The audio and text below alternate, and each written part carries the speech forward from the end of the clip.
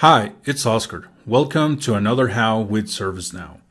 In this episode, I'm going to demonstrate how to send an approval reminder notification with an Excel file attached with all the records that are waiting approval for a given approver.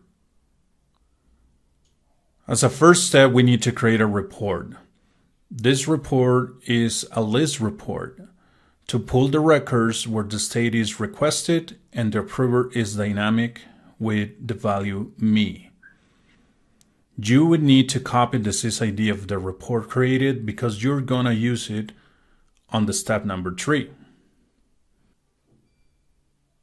On the second step, we need to create an scheduled job and we have to choose the frequency, whether we want it daily, weekly, or monthly.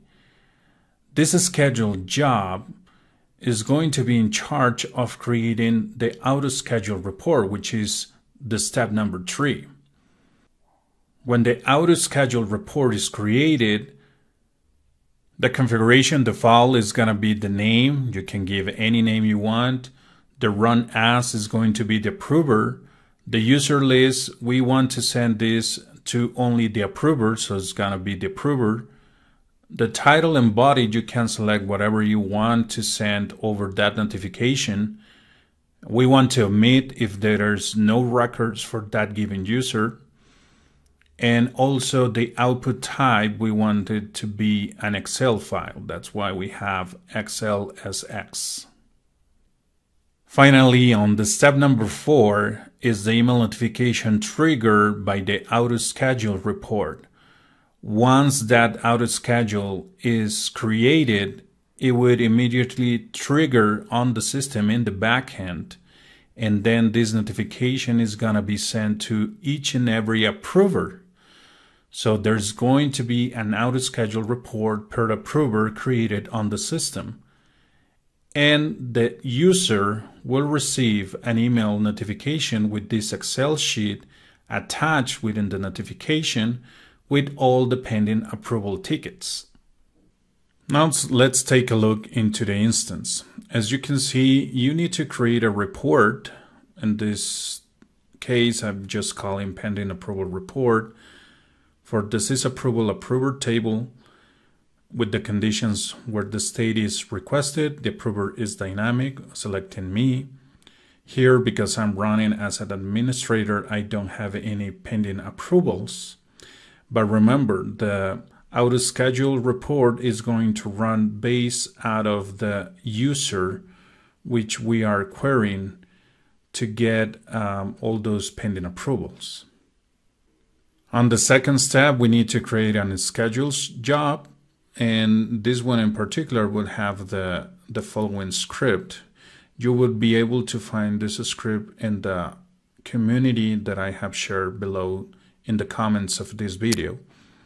So on the first part, we're actually querying the sysapproval approver table where the state is requested and we're grouping by the approver.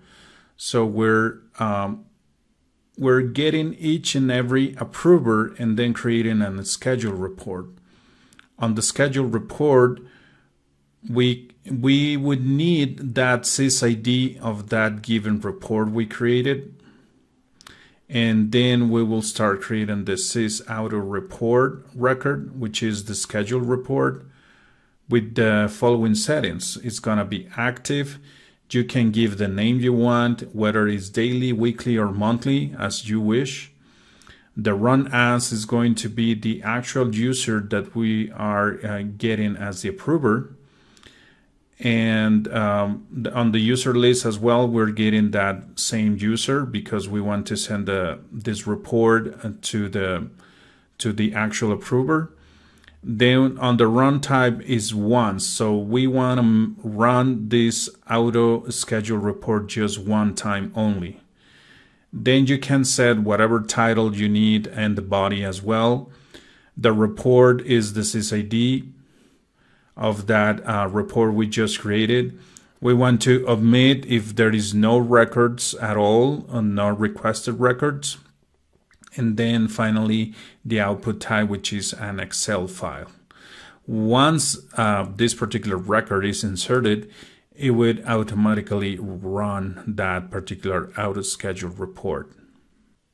One very important aspect on the report is that make sure that you share this particular report to everyone. So everyone would have the capability to run this report because the auto schedule report is going to leverage this particular report. And as we are seeing, we are configuring to run it as the approver.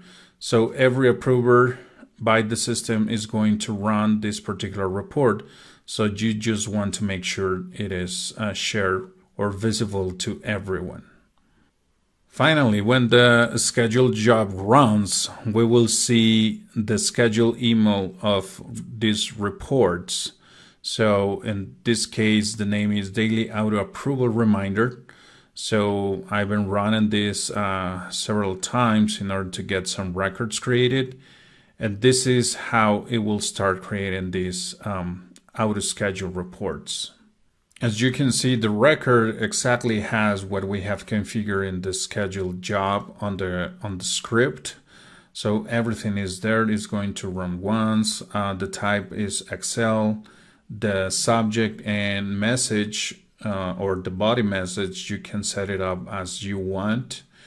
Uh, we are providing a standard name on it and then we are uh, actually referencing the pending approval report.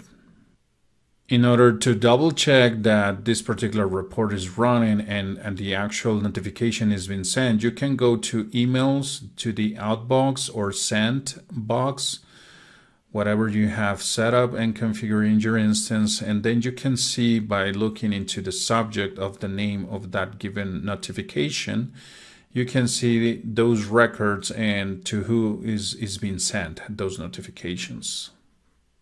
Finally, if you open one of those notifications, you will notice in this case that uh, this particular notification was sent to Bernard Laboy. And we have the, bus, the body message, the subject name, or the, the, the subject of that notification. And as well, we have attached that particular Excel file. Once you download the file, just for uh, this example, then we can see all the tickets that are pending approval from Bernard. So this is the spreadsheet that he is going to receive. This is the Excel file with all the ticket numbers that he needs to approve, just as a reminder. And this is how easy you can send a daily, weekly, or monthly pending approval report to those approvers that are pending to approve tickets within ServiceNow. Don't forget to subscribe and thanks for watching.